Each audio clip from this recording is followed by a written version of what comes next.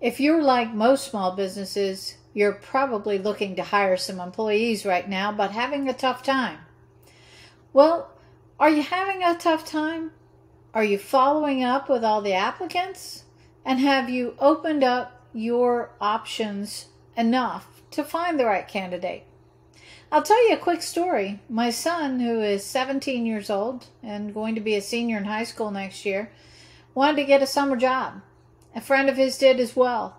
They applied at 14 different places. He applied at 14 different places and received no callbacks. One of them was even a shop that opened from 5 a.m. to 2 p.m. for their shift. And he was definitely willing to work those hours. He kind of liked that idea. Not a callback in sight. No communication.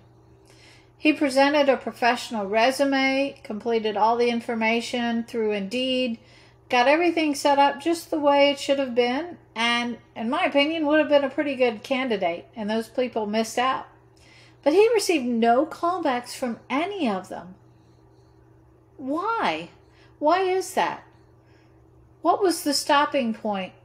Are people just in the mood that they're looking for work, but not willing to talk to anybody about it? I know that's an extra task that has to be done, but if you really want to find good employees, make sure you're sifting through those candidates.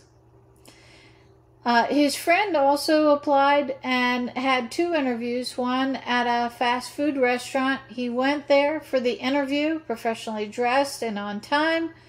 And the only question that the manager asked was, What time can you work? She was also 30 minutes late for the interview. So I feel like there are many places who are looking for employees but are not really putting forth the effort to review the candidates and assuming that everyone who is applying isn't a good fit anyhow. So make sure you take the time to sift through those.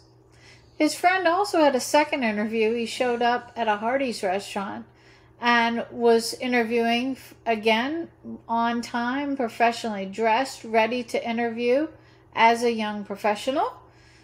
And the whole restaurant was closed. There was no one there. They never communicated with him, even to let him know to reschedule. He showed up for an interview and there was nobody there. So, make sure that when you are looking for employees that first off, I encourage you to widen your pool Make sure that you are looking at all of the candidates and not leaving this task up to a manager or someone else who may just feel like everybody gets checked off the list very quickly. There are decent kids out there and decent people out there looking for jobs, so please be open and don't just account that no one's going to show up. I know it's a tough market and there are a lot of no shows, there's no doubt about it. There are also a lot of people who are very unqualified for jobs that they're applying for. But don't let that sour you on looking at the ones who may be your perfect candidate. I'm Donna Bordeaux with PYOPaccounting.com. Please follow us on Facebook and Instagram. Make sure you check out our blog and our website from the link below. Subscribe to our YouTube channel and hit the bell to be notified when we post.